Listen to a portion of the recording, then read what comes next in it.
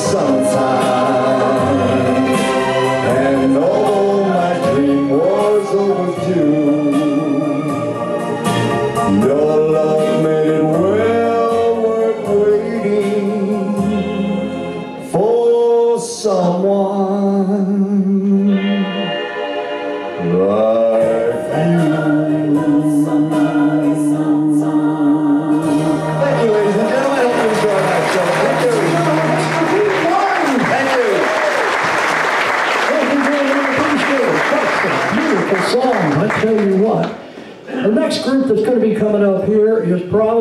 most famous duo in the history of music.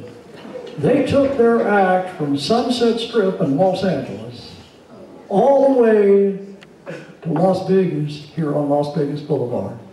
And they had a couple stops along the way. They had an Oscar. They had a Grammy. They had an Emmy. And they also had enough time to become a member of Congress. They need no introduction. Ladies and gentlemen, I'll give them one. Sonny and Cher!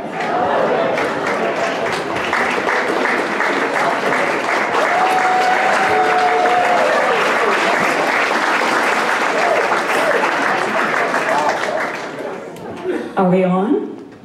Are we working? Okay. You ready, Sonny? I think I am. Okay, there we go. Maybe. It's hard to follow Dean Martin, y'all know that.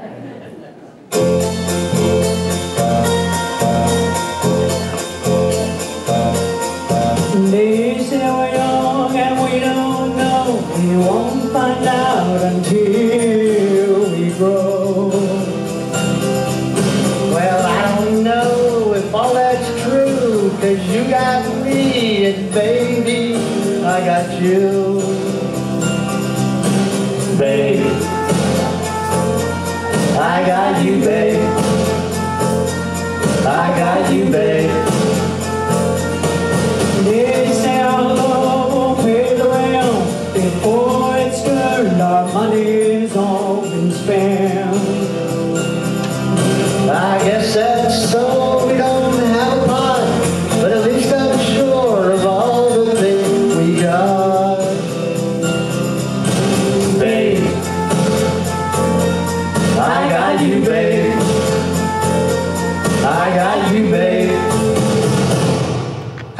clouds.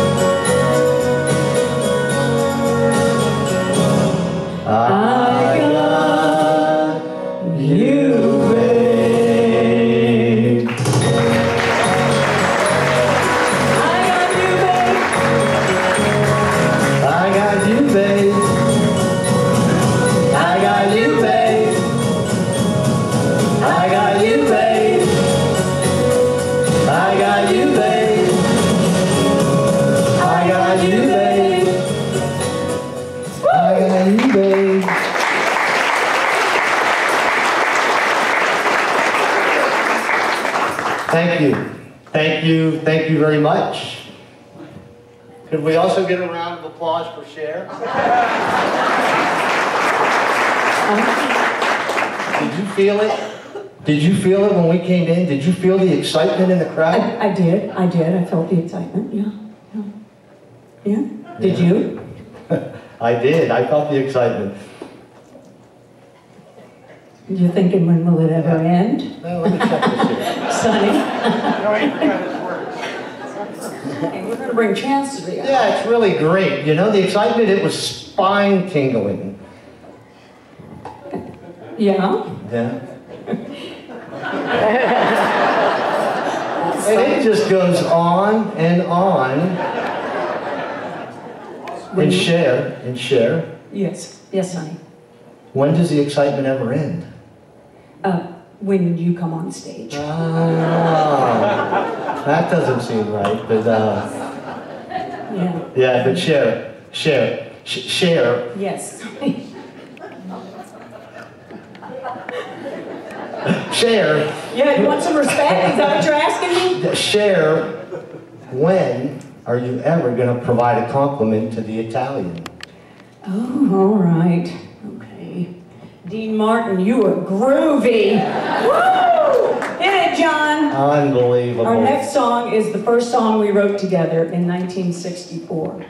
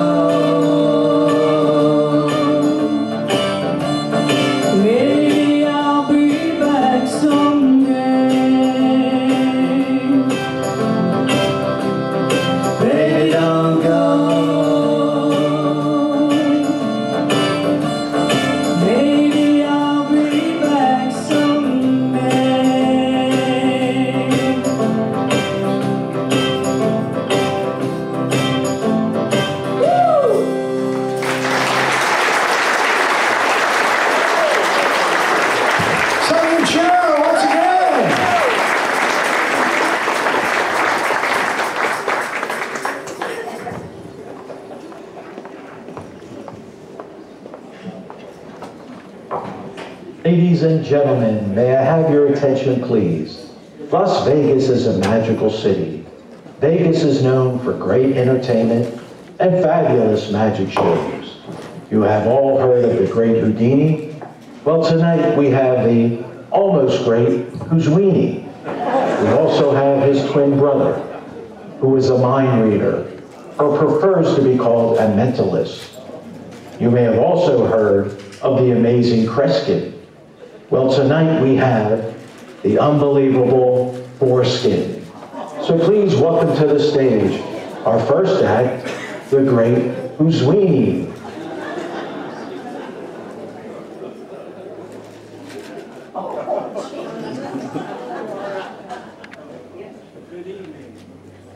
Good evening, everyone. Say hello to Mercedes. Mercedes will be my assistant this evening. I actually once dated a showgirl. Her name was Portia. I couldn't afford her either. Well, we're kind of off the strip. The big magic shows on the strip have grand illusion. Grand illusion would be sawing a lady in half, making a helicopter appear or disappear, or we're a little bit low budget. So we're going to use some basic props. Now we can't do a magic show without a magic wand. Mercedes, can you grab the magic wand? I think that wand may need a little blue pill. so as I said, we're going to do a basic magic trick. Mercedes is going to help me. And I'm going to use a rope.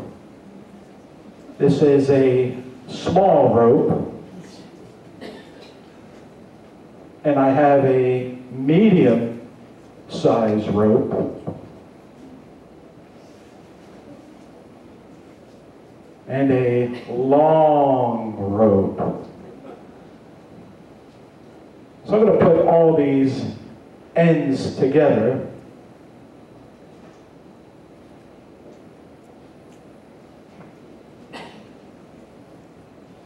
We're going to make these ends all the same size. Now, if you could see that.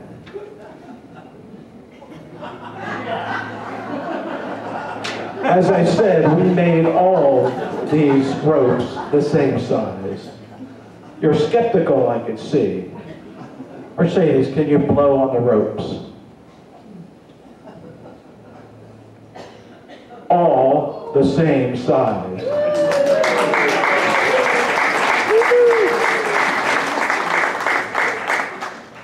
Now that's actually the easy part.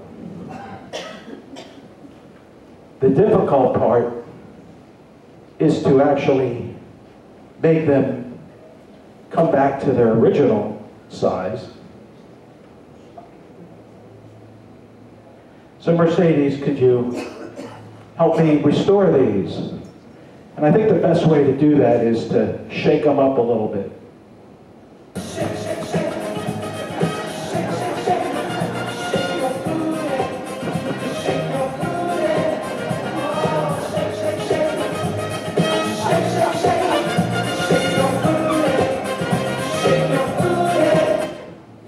That has nothing to do with the act. That, that's for my own entertainment. So let's look inside the hat.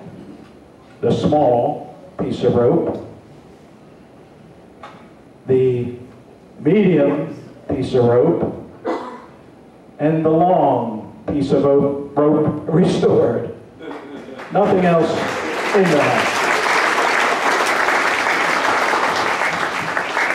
I think that's enough of magic. So we heard the announcement initially, and what was happening there was uh, we had two. I actually have a twin brother. And my twin brother is going to come out and do mind reading.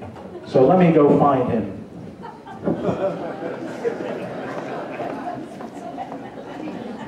Make sure the mic.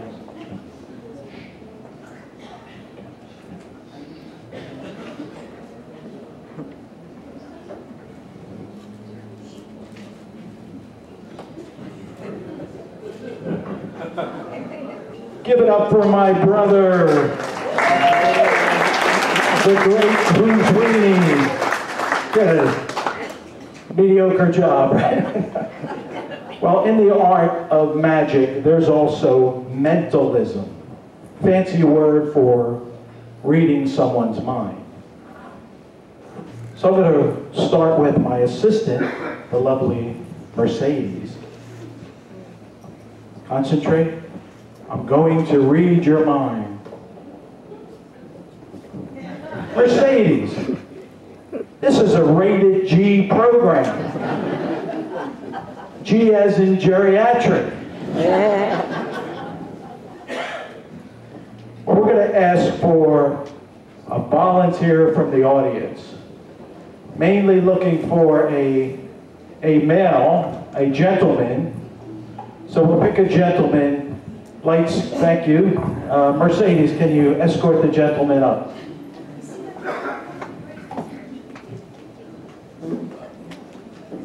Now, why Mercedes is getting the gentleman, the observant people will notice these sealed envelopes have been on stage, non-altered, for the entire show. So I'm going to put those here.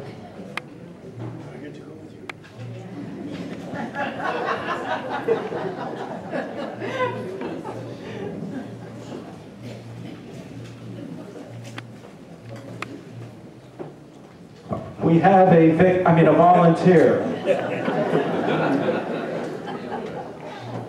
welcome, welcome. Your name is? Jerry. Jerry, nice to meet you. And originally, where, where are you from, Jerry? Minnesota. I knew that.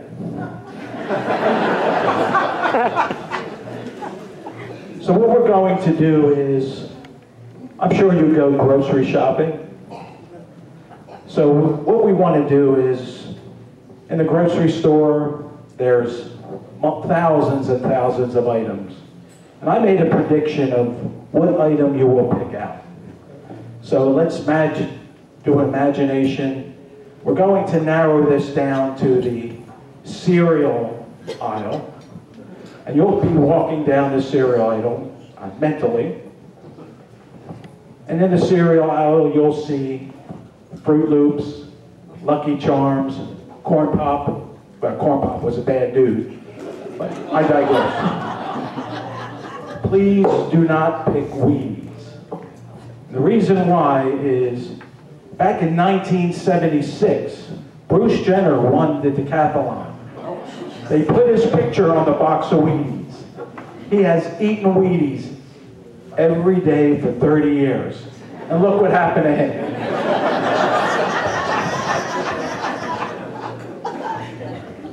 So I'll ask you to walk down that aisle.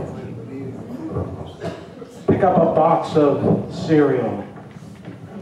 In, in your mind, show the audience the box of cereal, and tell them out loud what was your selection?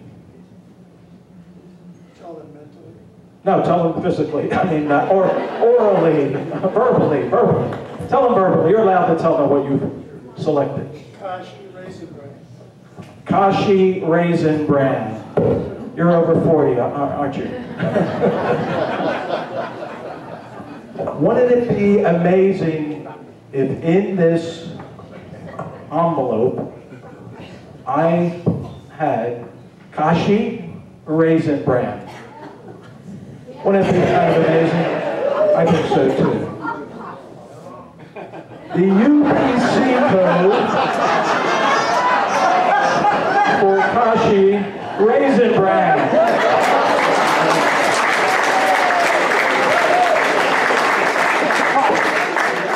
Well, you've been a big help. And uh, you can go back to your I, th- I think you're glad to go back to your table there. Now, I think we'll need another volunteer. This time, probably a, a woman, and uh, Mercedes will seek out the woman. And actually, someone that uses the pronouns she or her. I prefer to say a lady.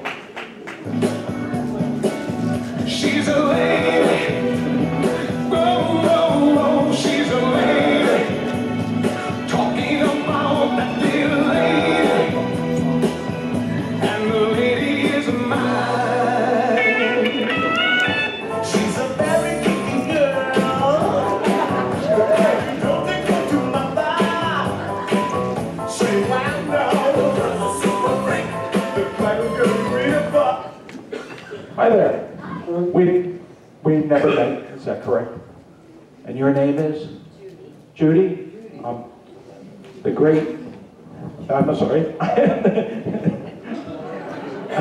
I am the unbelievable foreskin.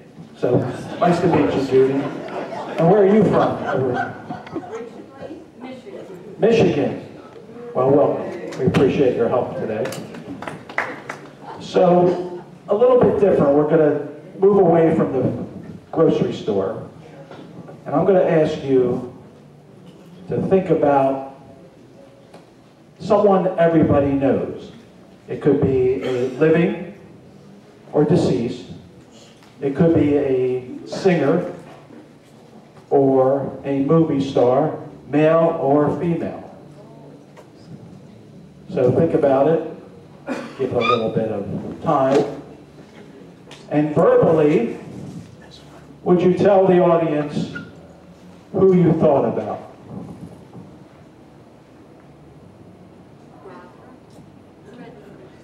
You could yell that out. Robert Redford. Robert Redford. Once again, would it be amazing if in this envelope I had a photograph of Robert Redford?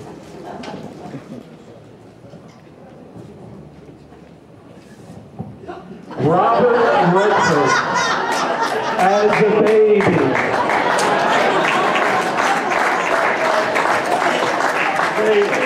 Thank you, Judy.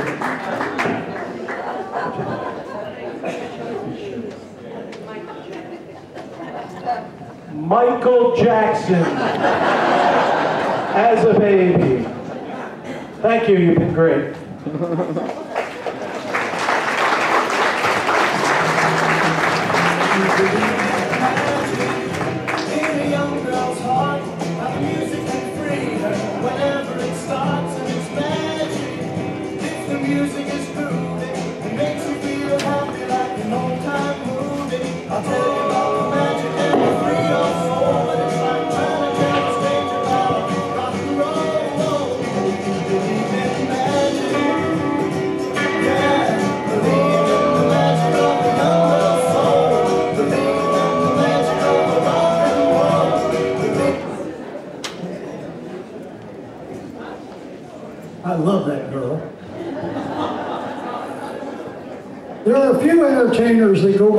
First name. Of course, there's Frank. Then, of course, there's Dino. You got Barbara, Madonna. But you know what? There's only one person that I know that is truly identifiable by the snap of your finger.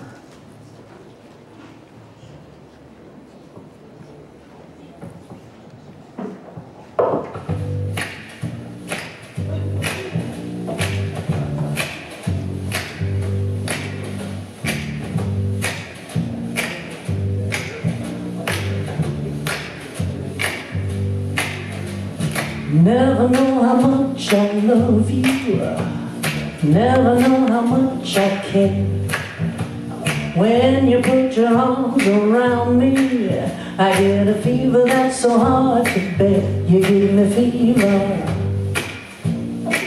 When you kiss me, fever when you hold me tight.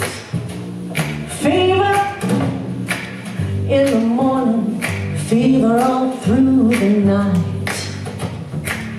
Sun lights up the daytime Moon lights up the night. I light up when you call my name And you know I'm gonna treat you right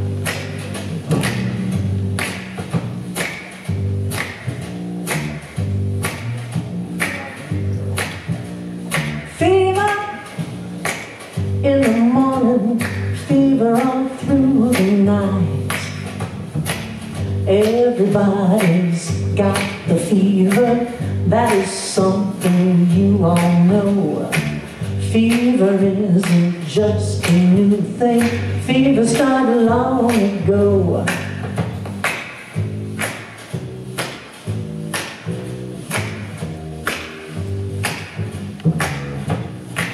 Romeo loved Juliet.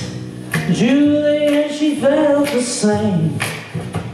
When he put his arms around her, he said, Julie, baby, you're my flame, thou giveth fever. When we kiss it, fever with our flame youth. Fever, I'm a fire. Fever, yeah, I burn forsooth.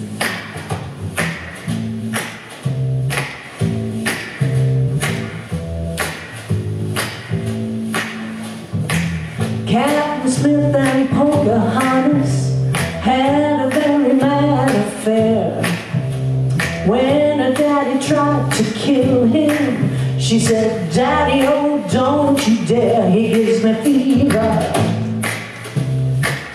With his kisses, fever when he holds me tight. Fever, I his missus, Daddy, won't you treat him right? Now you've listened to my story. Here's the point that I have made. Chicks were born to give you fever, be it Fahrenheit or centigrade, they give you fever.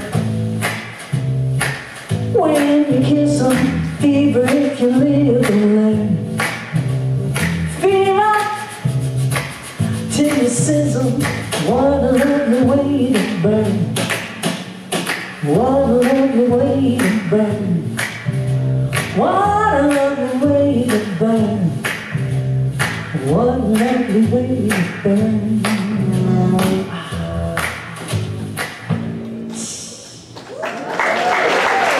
Thank you, thank you.